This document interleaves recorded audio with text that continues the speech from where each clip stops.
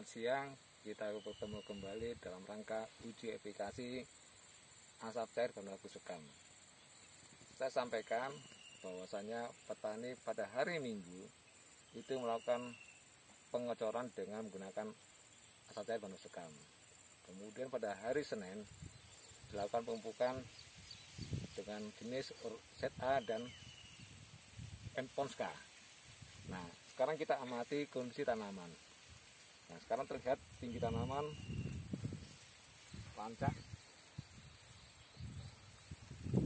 Semua fungsinya normal. Tidak keluar boleh.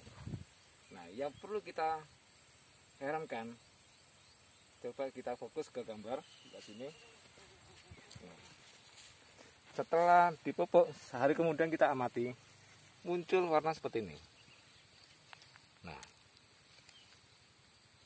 terus sama anu ini. Ada beberapa tanaman muncul seperti ini. Tapi kalau kita lihat di balik daun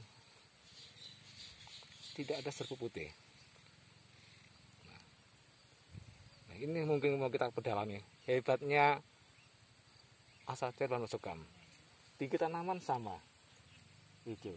Nampak di lahan tidak kelihatan warna kuning atau kuning transparan.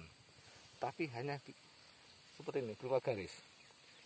Nah, kemudian tidak ada muncul sepuk putih jamur.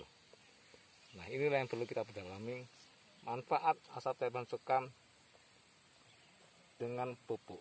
Biasanya petani kalau setelah mupuk apakah itu set A yang mengandung N SA mengandung S belerang dan dan tambahan pupuk yang lain biasanya setelah dilelep kemudian pada batas tentu akan muncul warna kuning diikuti dengan selaput warna putih.